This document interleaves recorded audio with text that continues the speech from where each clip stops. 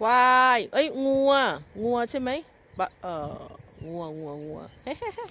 พามาชมงัวยามเย็น งัวเขาก็เล็มหญ้าในทุ่งนานะคะ ก็เป็นบรรยากาศยามเย็นของวันมาคาบูชามาคาบูชา บรรยากาศธรรมชาติในท้องทุ่งนานะมาดามอยู่ก็พามารับชม ก็ฝากไว้นะคะพ่อแม่พี่น้องที่อยู่ต่างแดนเนาะ คิดฮอดบ้านก็อย่าลืมเด้อทักทายส่งข่าว พูดคุยกับทางบ้านเขาเด้อว่ายังอยู่ดีมีแหงหรือเปล่านะคะสำหรับมาดามหลินก็อยู่ทุ่งนานะคะ ภาคอีสานตอนใต้นะคะ จังหวัดศรีสะเกดนะคะ พาพ่อแม่พี่น้องมารับชมบรรยากาศท้องทุ่งนา และเจ้างัวนะคะ ตัวสีดำๆกำลังเล็มหญ้าอย่างอร็ดอร่อยนะคะ ในฤดูกาลนะคะ หลัง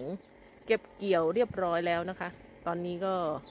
ได้เวลาแล้วนะคะ ที่จะต้องจอรรีกลับบ้านนะคะ ไปเตรียมอาหารมื้อเย็นรับประทานก่อนสำหรับคลิปนี้ก็จบไว้แต่เพียงเท่านี้นะคะ แล้วพบกันใหม่ในคลิปหน้า บ๊ายบาย